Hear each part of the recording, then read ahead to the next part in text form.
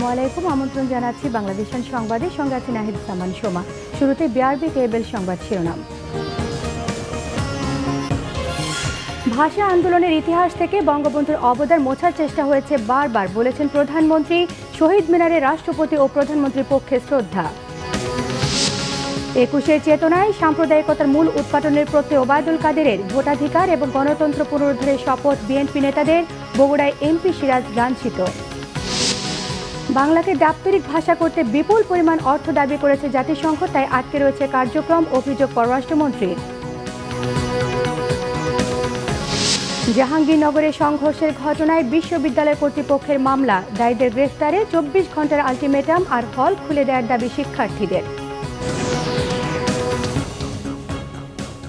দেখছিলেন বিআরবি কেবল সংবাদ শিরোনাম, এবারে পুরো সংবাদ।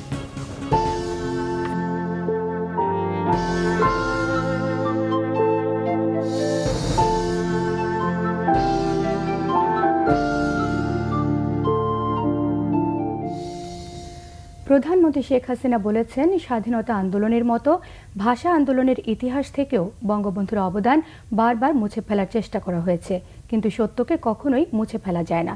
প্রধানমন্ত্রী আরও বলেন, ক্ষুদ্র নৃগোষ্ঠীর সহ দেশের সবাই যাতে মাতৃভাষায় লেখাপড়া করতে পারে, সরকার সেই ব্যবস্থাই করেছে।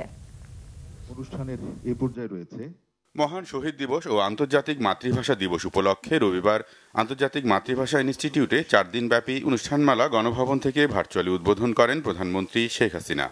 অনুষ্ঠানে প্রথমবারের মতো আন্তর্জাতিক মাতৃভাষা পদক প্রদান করা হয়। উজবেক ভাষা চর্চার প্রসার সংরক্ষণ গবেষণায় গুরুত্বপূর্ণ অবদানের জন্য উজবেক গবেষক ইসমাইল গুলম, মির্জায়েভিচ, বলিভিয়ার ইন্টারনেট ভিত্তিক সংগঠন, অ্যাক্টিভিজম ল্যাঙ্গুয়াজ, খাগড়াছড়ির জাবরাং কল্যাণ সমিতির নির্বাহী পরিচালক, মথুরা বিকাশ ত্রিপুরা এবং অধ্যাপক রফিকুল ইসলামকে এবারের আন্তর্জাতিক মাতৃভাষা পদকে ভূষিত করা হয়। অনুষ্ঠানে দেয়া বক্তব্যে প্রধানমন্ত্রী পঁচাত্তর পরবর্তী সরকারগুলোর ভাষা আন্দোলন থেকে স্বাধীনতা আন্দোলনের ইতিহাস মুছে ফেলার হীনচেষ্টার কথা তুলে ধরেন। বাংলাদেশের স্বাধীনতার ইতিহাস থেকে জাতিপিতা বঙ্গবন্ধু শেখ মুজিবুর রহমানের নামটাও মুছে ফেলার একটা প্রচেষ্টা করা হয়। ভাষা আন্দোলন যে তিনি শুরু করেছিলেন এবং সেখানে তার যে অবদান রয়েছে, এ কথাটা আমাদের অনেক জ্ঞানীগুণী বুদ্ধিজীবীও এটা মানতে রাজি হতেন না। তাদের কথা ছিল, শেখ মুজিব তো জেলে ছিল, সে আবার ভাষা আন্দোলন করল কীভাবে? তো জেলে তিনি গিয়েছিলেন কেন? তাকে তো গ্রেপ্তার করা হয়েছিল। এই ভাষা আন্দোলন যখন তিনি শুরু করলেন এবং ব্যাপকভাবে প্রচার শুরু করলেন, সেখানেই তিনি বারবার গ্রেপ্তার হন। দেশের বিভিন্ন ক্ষুদ্র নৃগোষ্ঠীর মাতৃভাষা রক্ষা, উন্নয়নে সরকারের নেওয়া উদ্যোগ উঠে আসে প্রধানমন্ত্রীর বক্তব্যে। আন্তর্জাতিক যোগাযোগের মাধ্যম, সেগুলো আমাদের যেমন শিখতে হবে, কিন্তু সেই সাথে সাথে মাতৃভাষাকেও আমাদের শিখতে হবে। আর সেই সাথে আমরা যেমন আমাদের যারা ক্ষুদ্র নৃগোষ্ঠী, তাদের ভাষাগুলিও যাতে সংরক্ষণ করা যায় বা তারা সেই ভাষার জন্য শিক্ষা গ্রহণ করতে পারে, তার জন্য আমরা যেমন বিনা পয়সায় বই দিই, আমরা তাদের বইগুলিও কিন্তু সেই ছাপিয়ে বিনা পয়সায় দিয়ে দিচ্ছি যেন তারাও তাদের নিজের ভাষা শিখতে পারে এবং নিজের ভাষায় কথা বলতে পারে, সেদিকেও আমরা বিশেষভাবে দৃষ্টি দিয়েছি। এছাড়া পৃথিবীর বিভিন্ন বিলুপ্ত প্রায় ভাষা সংরক্ষণে মাতৃভাষা ইনস্টিটিউট গুরুত্বপূর্ণ অবদান রাখবে বলে আশাবাদ ব্যক্ত করেন প্রধানমন্ত্রী। রকুনুজ্জামান বাংলা ভিশন ঢাকা। এর আগে শহীদ দিবস এবং আন্তর্জাতিক মাতৃভাষা দিবস উপলক্ষে কেন্দ্রীয় শহীদ মিনারে ভাষা আন্দোলনের শহীদদের প্রতি একুশে প্রথম প্রহরে রাষ্ট্রপতি মোহাম্মদ আব্দুল হামিদ এবং প্রধানমন্ত্রী শেখ হাসিনার পক্ষ থেকে শ্রদ্ধা নিবেদন করা হয়েছে। সর্বস্তরে বাংলা ভাষা চালুর প্রত্যয় ব্যক্ত করেন আওয়ামী লীগের সাধারণ সম্পাদক ওবায়দুল কাদের। শহীদ দিবস আন্তর্জাতিক মাতৃভাষা দিবস উপলক্ষে একুশের প্রথম প্রহরে কেন্দ্রীয় শহীদ মিনারে রাষ্ট্রপতি ও প্রধানমন্ত্রীর পক্ষ থেকে শ্রদ্ধা জানানো হয়। প্রতিবার রাষ্ট্রপতি ও প্রধানমন্ত্রী সশরীরে উপস্থিত থাকলেও করোনা পরিস্থিতিতে এবার তাদের পক্ষে শহীদ বেদিতে শ্রদ্ধা জানান তাদের সামরিক সচিবগণ। এরপর একে একে স্পিকার, মন্ত্রিপরিষদ, তিন বাহিনীর পক্ষ থেকে শহীদ বেদিতে শ্রদ্ধা জানানো হয়। আওয়ামী লীগের পক্ষ থেকে দলের সাধারণ সম্পাদক অবায়দুল কাদেরের নেতৃত্বে শহীদ বেদিতে শ্রদ্ধা জানান কেন্দ্রীয় নেতৃবৃন্দ। এ সময় আওয়ামী লীগের সাধারণ সম্পাদক একুশের চেতনা প্রতিষ্ঠায় সাম্প্রদায়িকতার মূল উৎপাটনের প্রত্যয় ব্যক্ত করেন। দাবি জানান বাংলাকে জাতিসংঘের দাপ্তরিক ভাষার মর্যাদা দেয়ার। সাম্প্রদায়িকতার বীজ বৃক্ষকে উৎপাদিত করে আমাদের বিজয়কে সুসংহত করতে চাই। আরেকটা বিষয়, আজকে বিশ্বে বাংলা ভাষা হচ্ছে ষষ্ঠ ভাষা জনসংখ্যার দিক থেকে। অথচ জাতিসংঘে এখনও বাংলাকে দাপ্তরিক ভাষা হিসাবে গ্রহণ করেনি, স্বীকৃতি দেয়নি। আমরা আজকে একুশের মঞ্চ থেকে সেই দাবি জানাচ্ছি। এরপর শহীদ মিনারের বেদি সর্বসাধারণের শ্রদ্ধা নিবেদনের জন্য উন্মুক্ত করে দেওয়া হয়।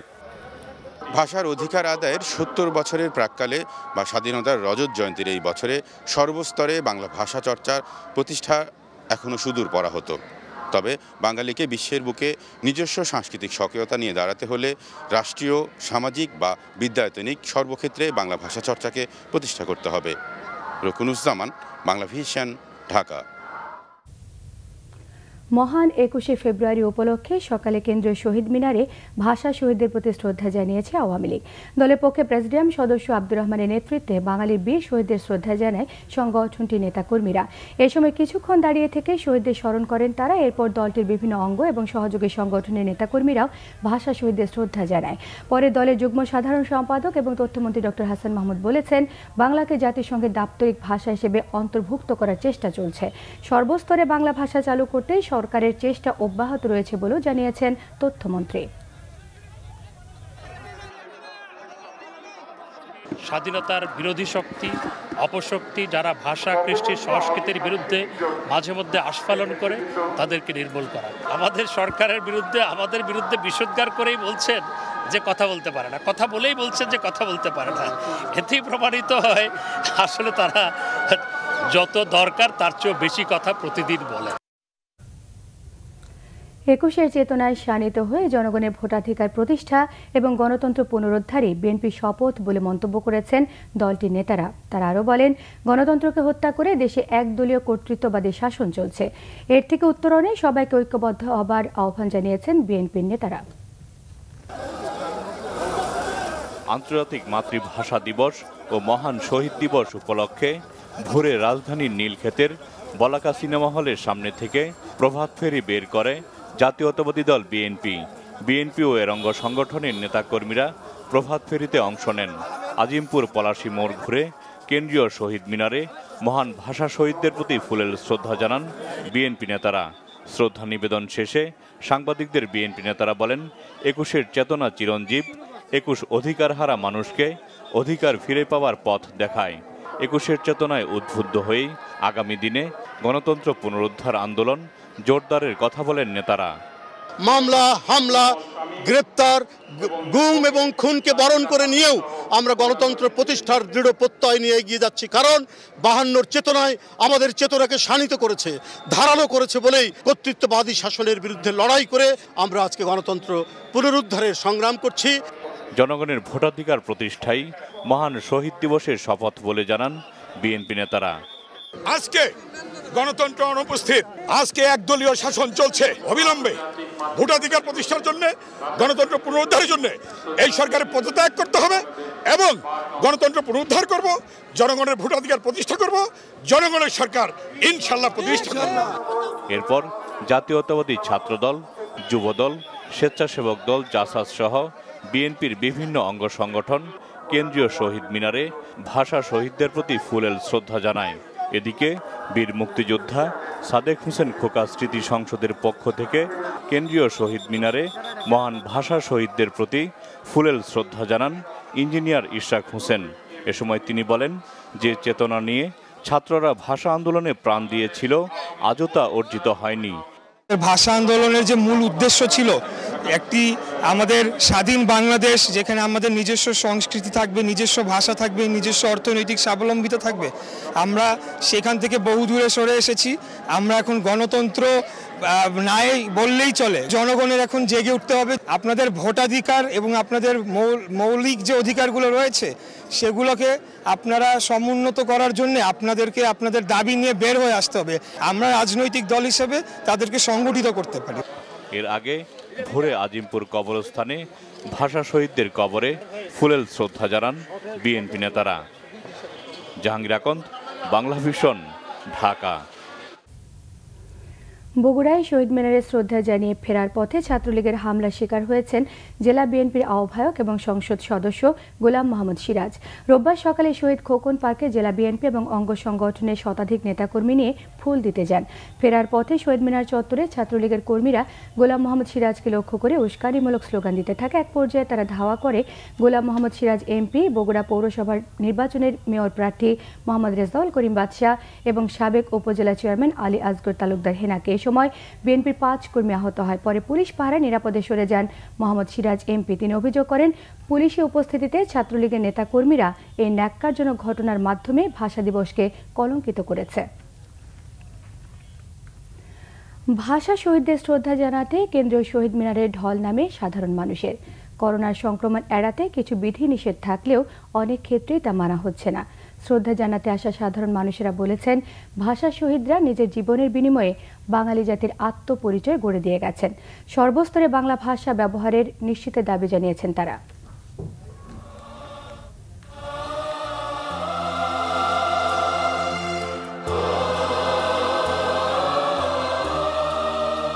মায়ের ভাষাকে রক্ষা করতে রক্ত দিয়ে যারা রাজপথ রাঙিয়েছেন, এই শ্রদ্ধা তাদের জন্য।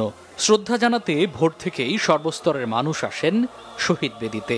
ফুলের তোড়া দিয়ে শহীদদের শ্রদ্ধা জানান ব্যক্তি, প্রতিষ্ঠান, সামাজিক ও বিভিন্ন সাংস্কৃতিক সংগঠন সহ রাজনৈতিক সংগঠনও। আমরা এখানে ফুল দিতে এসেছি শহীদকে শ্রদ্ধা জানাতে। একুশে ফেব্রুয়ারিতে শহীদ মিনার বেদিতে এসে যে ফুল দিব এটা যেন একদিনের জন্য না থাকে। বাংলা ভাষায় যারা জীবন দিয়েছে তাদের জন্য আমরা শ্রদ্ধা দিতে বাবা আমাকে কাঁধে করে নিয়ে আসতো এখানে যখন আমি স্কুলে ভর্তি হইনি আমি তখন থেকে আসি। আমাদের পরবর্তী প্রজন্মকে জানানোর জন্য জাস্ট আমার মেয়েকে নিয়ে আসা এখানে। শ্রদ্ধা জানানোর পরে নিজেদের কাছে আত্মতৃপ্তি পাই আমরা। এখানে না আসলে আসলে মানে একটা অপূর্ণতা থেকে যেত। শ্রদ্ধা জানাতে এসে সাধারণ মানুষের চাওয়া পাওয়া ছিল ভাষার মর্যাদা প্রতিষ্ঠায় প্রয়োজনে সরকারি উদ্যোগ নেওয়া। ভাষার বিকৃতি রোধেও তৎপরতা বাড়ানোর দাবি জানান তারা। অভিনেত্রী হিসাবে দুঃখবোধের জায়গাটা আমার অনেক বেশি। যখন দেখি ভাষার যা ইচ্ছা তাই ব্যবহার। অন্তত এই ভাষার দিক দিয়ে সারা বিশ্বে আমরা গৌরবান্বিত যে আমাদের ভাষাটা আন্তর্জাতিক ভাষা মাতৃভাষা হিসাবে স্বীকৃত। একুশে ফেব্রুয়ারি একটা দিনের জন্যই তাদেরকে আমরা স্মরণ করব না। আমরা তাদেরকে বিভিন্ন সময় তাদেরকে আমাদের স্মরণ করতে হবে।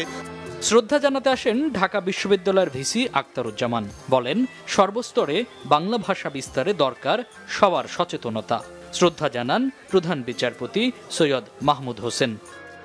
কীভাবে একটি পরিশীলিত, পরিমিত, পরিশুদ্ধ ভাষার বিকাশ ঘটানো যায়, উন্নয়ন ঘটানো যায়, সেদিকে আমাদের প্রাতিষ্ঠানিক এবং ব্যক্তি পর্যায়ে নানাবিধ প্রয়াস লাগবে। সব আপনার রায় বাংলাতে কনভার্ট হয়ে যাবে বলে আমি আশা করি উইদিন ওয়ান ইয়ার করোনার সংক্রমণ এড়াতে পূর্ব ঘোষণা অনুযায়ী শহীদ মিনারে শ্রদ্ধা জানাতে আসায় ছিল কিছুটা বিধিনিষেধ তবে উপেক্ষিত ছিল সামাজিক দূরত্ব মানার বিষয়টি। ব্যাগে ছিল ছবি তোলার জন্যই মাত্র মানে খুলে রাখছি। আসলে এখানে তো আপনার সামাজিক দূরত্ব মানে মানা একটু অসম্ভবই। যারা ব্যবস্থাপনায় আছেন তারা তো আমাদেরকে বলতেছেন না যে আপনারা তিন ফিট দূরত্ব বজায় রেখে আসুন। এই মাত্র আমি মানে একটু দূরত্বটা আসলে কন্ট্রোলের বাইরে চলে গেছে। আত্মত্যাগের বিনিময়ে অর্জিত মায়ের ভাষাতে কথা বলেই বাঙালির আবেগ যেন পূর্ণতা পায়। তবুও প্রশ্ন রয়ে গেছে, রক্ত দিয়ে কেনা এই ভাষার মর্যাদা সর্বস্তরে কতটুকু পূর্ণতা পেয়েছে? মামুন আবদুল্লাহ, বাংলা ভীষণ ঢাকা। শহীদ বেদিতে শ্রদ্ধা জানানো সহ নানা আয়োজনে রাজধানীর বাইরেও পালিত হচ্ছে আন্তর্জাতিক মাতৃভাষা দিবস। একুশে প্রথম প্রহরে চট্টগ্রামের কেন্দ্রীয় শহীদ মিনারে শ্রদ্ধা জানান সিটি মেয়র রেজাউল করিম চৌধুরী, বিভাগীয় commissioner A B M Azad, police commissioner Saleh Mohammad ময়মনসিংহে নগরীর টাউন হল কেন্দ্রীয় শহীদ মিনারে শ্রদ্ধা জানান গৃহায়ন ও গণপূর্ত প্রতিমন্ত্রী শরীফ আহমেদ। রাজশাহী কেন্দ্রীয় শহীদ মিনারে city mayor A H M Khairuzzaman Liton সহ সর্বস্তরের মানুষ এবং রাজশাহী কলেজ শহীদ মিনারে শ্রদ্ধা জানান বিএনপি সহ বিভিন্ন রাজনৈতিক এবং সামাজিক সংগঠন। একুশের প্রথম প্রহরে বরিশালে শ্রদ্ধা জানান প্রশাসনের ঊর্ধ্বতন কর্মকর্তা সিটি কর্পোরেশনের মেয়র এবং বিভিন্ন রাজনৈতিক এবং সামাজিক সংগঠনের নেতা কর্মীরা খুলনার শহীদ হাদিস পার্ক শহীদ মিনারে শ্রদ্ধা জানায় সিটি মেয়র তালুকদার আব্দুল খালেক, শ্রম প্রতিমন্ত্রী বেগম মনুজান সুফিয়ান সহ নানা শ্রেণি পেশার মানুষ। রংপুর কেন্দ্রীয় শহীদ মিনারে শ্রদ্ধা জানান বিভাগীয় commissioner Abdul Wahab Bhuiyan, city mayor Mustafizur Rahman Mustafa সহ সর্বস্তরের মানুষ। সিলেট কেন্দ্রীয় শহীদ মিনারে শ্রদ্ধা জানান সিটি মেয়র আরিফুল হক চৌধুরী, জেলা প্রশাসক কাজী এমদাদুল ইসলাম সহ বিভিন্ন রাজনৈতিক এবং সামাজিক সংগঠন।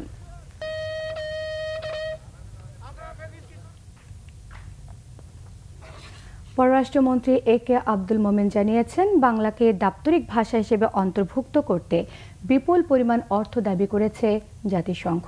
তাই এই কার্যক্রম আটকে রয়েছে। দুপুরে রাজধানীর ফরেন সার্ভিস একাডেমিতে আন্তর্জাতিক মাতৃভাষা দিবসের অনুষ্ঠানে এ তথ্য জানিয়েছেন তিনি। জাতিসংঘ বলছে টাকা দরকার এবং টাকাটা বলছে যে আমরা তখন জিজ্ঞেস করি কত টাকা? তারা একটা বিরাট আহামরি অঙ্কের হিসাব দিয়েছে।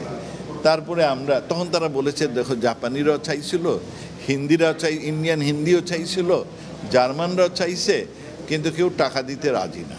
তার জন্য অন্যগুলো হয় না তো তোমরা আসো টাকা নিয়ে। তা আমরা বলছি, এটাতে আমাদের একটা ইমোশন জড়িত। যে টাকা প্রথম বলেছে, সেইগুলো প্রতি বছর ছয়শো মিলিয়ন ডলার দিতে হবে। ভাঙচুর ও মারধরের ঘটনায় অজ্ঞাত আড়াইশো জনকে আসামি করে আশুলিয়া থানায় মামলা করেছে জাহাঙ্গীরনগর বিশ্ববিদ্যালয় কর্তৃপক্ষ। দায়ীদের দ্রুত গ্রেফতারে চব্বিশ ঘণ্টা আলটিমেটামের পাশাপাশি সব হল খুলে দেওয়ার দাবি জানিয়েছেন আন্দোলনকারী শিক্ষার্থীরা। শুক্রবার সন্ধ্যায় ক্রিকেট খেলাকে কেন্দ্র করে জাহাঙ্গীরনগর বিশ্ববিদ্যালয় ও পার্শ্ববর্তী গ্রাম গেরুয়াবাসীর মধ্যে সংঘর্ষ বাধে। এতে উভয় পক্ষে আহত হয় অর্ধ শতাধিক। এরপর থেকে দায়ীদের গ্রেফতার ও হলগুলো খুলে দেয়া সহ কয়েকটি দাবিতে আন্দোলনে নামেন শিক্ষার্থীরা। রবিবার সংবাদ সম্মেলনে আন্দোলনকারীরা জানান, তারা নিরাপত্তাহীনতায় ভুগছেন।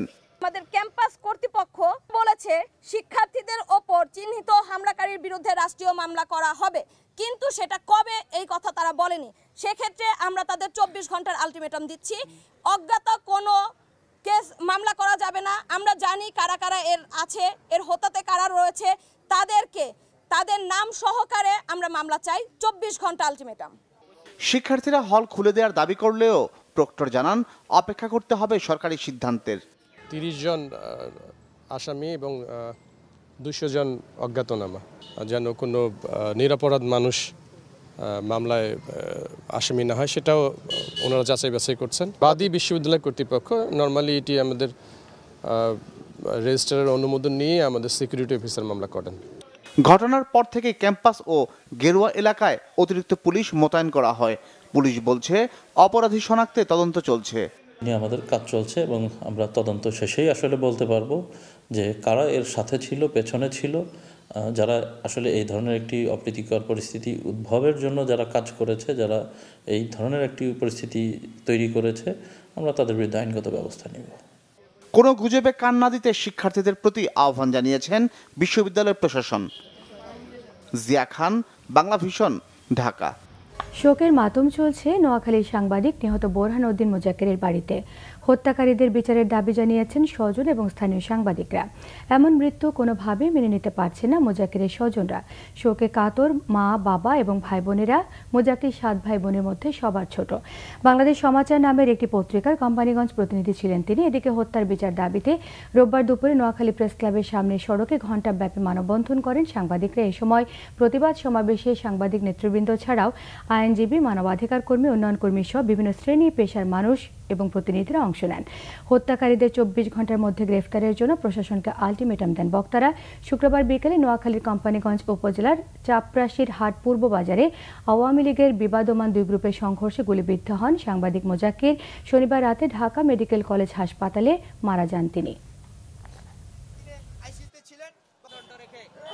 যারা এটা করছে হ্যাঁ ওদেরকে খুঁজে বের করে এটা দৃষ্টান্তমূলক শাস্তি দাবি করতেছি। গুলি করছে শোষককে দেখিনি। যদি দেখতাম আমরা বাদী হয়ে এখন মামলা করতাম। অপরাজনীতির প্রতিহিংসার শিকার এটা বুঝতে আমার আর বাকি নেই। আমি কাকে কা- কাউকে কাদা চুরাচুরি করতে দেবো না? আপনার কাছে আমার বিনীত অনুরোধ আমার ছোট ভাইয়ের হত্যার সুষ্ঠু বিচার যেন আমরা পাই। বগুড়ার শেরপুরের কলেজ গেট এলাকায় বাস, ট্রাক সংঘর্ষে দুই চালক সহ ছজন নিহত হয়েছে। পুলিশ জানায়, ঢাকা থেকে ছেড়ে যাওয়া এসআর পরিবহনের একটি বাস রোববার ভোর পৌনে পাঁচটায় শেরপুর উপজেলার কলেজ রোডে পৌঁছলে বিপরীত দিক থেকে আসা পণ্যবাহী একটি ট্রাকের সঙ্গে মুখোমুখি সংঘর্ষ হয়। এতে ঘটনাস্থলে নিহত হন বাস এবং ট্রাকের চালক এবং হেলপার সহ ছজন। আহত হন অন্তত পনেরো জন। আহতদের উদ্ধার করে বগুড়া শহীদ জিয়াউর রহমান মেডিকেল কলেজ হাসপাতালে ভর্তি করা হয়েছে। প্রশাসনিক ও দাপ্তরিক সহ সর্বত্র রাষ্ট্রভাষা বাংলার ব্যবহার নিশ্চিতের দাবি জানিয়েছে আমার বাংলাদেশ এবি পার্টি। সেই সঙ্গে বাংলার পাশাপাশি অন্যান্য ভাষাগুলিও সংরক্ষণের দাবি জানিয়েছেন তারা। আন্তর্জাতিক মাতৃভাষা দিবস উপলক্ষে বিকেলে রাজধানী বিজয়নগরে আয়োজিত আলোচনা সভা এবং দোয়া অনুষ্ঠানে দলটির পক্ষ থেকে দাবি জানায়। অনুষ্ঠানে দলের আহ্বায়ক A F M Sulaiman Chowdhury বায়ান্নর ভাষা আন্দোলনে ভাষা শহীদদের অবদান তুলে ধরেন। সেই সঙ্গে মুক্তিযুদ্ধে জীবনদানকারী ত্রিশ লাখ শহীদের তালিকা প্রকাশ করতে সরকারের প্রতি আহ্বান জানান। অনুষ্ঠানের প্রধান আলোচক একুশে পদকপ্রাপ্ত শিক্ষাবিদ ডক্টর সুকমল বড়ুয়া বলেছেন আন্তর্জাতিকভাবে স্বীকৃত এই বাংলা ভাষার মর্যাদা অক্ষুণ্ণ রাখতে দেশের সর্বস্তরে বাংলার ব্যবহার নিশ্চিত করতে হবে। যেই মাতৃভাষা দিবস দিয়ে যে মুক্তিযুদ্ধের চেতনা নিয়ে একুশের সেই চেতনাই কিন্তু তৈরি করেছে মুক্তিযুদ্ধ পরবর্তী দিয়ে। এত আন্দোলন তৈরি হয়েছে কিন্তু একুশ স্তরে স্তরে বিকশিত হয়েছে। আজকে সেখান থেকে কিন্তু আমরা নেই। আমরা সকলেই কিন্তু আমরা বৈষম্যের শিকার। শিক্ষা ক্ষেত্রে বৈষম্য, আমাদের গণতান্ত্রিক আদি অধিকারের ক্ষেত্রে বৈষম্য, বিচার ব্যবস্থার ক্ষেত্রে বৈষম্য প্রশাসনের বৈষম্য এটা কিন্তু একটা দেশের জন্য কিন্তু শুভ লক্ষণ নয়। সুবিধাবঞ্চিত শিশুদের পাশে দাঁড়াতে তুলির আঁচড়ে ভাষা আন্দোলনকে ফুটিয়ে তোলার এক অভিনব আয়োজনে অংশ নিয়েছেন দেশের অর্ধ শতাধিক প্রথিত যশা চিত্রশিল্পীরা। আন্তর্জাতিক মাতৃভাষা দিবস উপলক্ষে দিনব্যাপী আঁকা ছবিগুলো বিক্রি করে দুস্থ শিশুদের বিকাশে সহায়তা করা হবে। চিত্রশিল্পীরা নানা সময় রং আর চারকোলের মাধ্যমে ফুটিয়ে তোলেন ভাষা আন্দোলনকে। এরকম পঞ্চাশ জনেরও বেশি শিল্পীকে এক ছাদের নিচে আনার উদ্যোগ নেয় হোটেল সারিনা। রবিবার দিনব্যাপী রঙের ছোঁয়ায় নিজেদের মুন্সিয়ানা ফুটিয়ে তোলেন এই শিল্পীরা। ছবিগুলোকে পরবর্তীতে নিলামে তুলে সেই অর্থ ব্যয় করা হবে সুবিধাবঞ্চিত শিশুদের জন্য। আমরা যে কটা পয়সা পাবো সে কটা আমরা আহসানি মিশনকে দিয়ে দেবো। তাহলে আমাদের একটা চ্যারিটি একটা অনুষ্ঠান করলাম সাথে একুশের সাথে সম্পৃক্ত হলাম। একটা রক্তের দিন কিন্তু আবার আনন্দেরও দিন যে আমরা ভাষা তো পেয়েছি। ব্যতিক্রমী এই উদ্যোগে অভিভূত শিল্পীরাও দেশের বিভিন্ন প্রান্ত থেকে আসা ছবি আঁকিয়েদের এই বিরল মিলন মেলা আন্তর্জাতিক মাতৃভাষা দিবস উদযাপনের এক অনন্য মাধ্যম হয়ে ওঠে। আমরা অনেক ছাত্র এখানে আছে। ছাত্রছাত্রীদের সাথেও দেখা হলো। ওরা অনেক পুরনো ছাত্রছাত্রী। স্টুডিওতে বসে ছবি আঁকা আর ওয়ার্কশপে এসে ছবি আঁকার মধ্যে একটা পার্থক্য তো অবশ্যই আছে। একটা ছাদের নিচে সবাই যে আঁকছে এবং শুধু আঁকাটা না অন্য কি আঁকছে সেটাও ঘুরে ফিরে দেখছে এই যে ভাব বিনিময় এটা অসাধারণ। এর আগে হোটেলের সামনে শহীদ মিনার বানিয়ে শ্রদ্ধা জানান শিল্পীরা। শিহাব হোসেন বাংলা ভিশন, ঢাকা। সংবাদ শেষ করব বিআরবি কেবল শিরোনামগুলো আরও একবার জানিয়ে ভাষা আন্দোলনের ইতিহাস থেকে বঙ্গবন্ধুর অবদান মোছার চেষ্টা হয়েছে বারবার, বলেছেন প্রধানমন্ত্রী। শহীদ মিনারে রাষ্ট্রপতি ও প্রধানমন্ত্রীর পক্ষে শ্রদ্ধা। একুশের চেতনায় সাম্প্রদায়িকতার মূল উৎপাদনের প্রতি ওবায়দুল কাদেরের ভোটাধিকার এবং গণতন্ত্র পুনরুদ্ধারের শপথ বিএনপি নেতাদের, বগুড়ায় এমপি সিরাজ লাঞ্ছিত। বাংলাকে দাপ্তরিক ভাষা করতে বিপুল পরিমাণ অর্থ দাবি করেছে জাতিসংঘ, তাই আটকে রয়েছে কার্যক্রম, অভিযোগ পররাষ্ট্রমন্ত্রীর জাহাঙ্গীরনগরে সংঘর্ষের ঘটনায় বিশ্ববিদ্যালয় কর্তৃপক্ষের মামলা, দায়ীদের গ্রেফতারে চব্বিশ ঘণ্টার আলটিমেটাম আর হল খুলে দেওয়ার দাবি শিক্ষার্থীদের। এই ছিল এখনকার মতো। পরে সংবাদ রাত সাড়ে দশটায়। দেখার আমন্ত্রণ রইল। এছাড়া বাংলা ভীষণ সংবাদ এবং সংবাদ সংশ্লিষ্ট অনুষ্ঠান দেখতে ভিজিট করুন W W dot Banglavision net dot TV এবং ফেসবুক ডট কম স্ল্যাশ বাংলাভিশনে এবং সাবস্ক্রাইবও করতে পারেন YouTube dot com slash Banglavision নিউজে এখন সঙ্গে থাকায় ধন্যবাদ সবাইকে।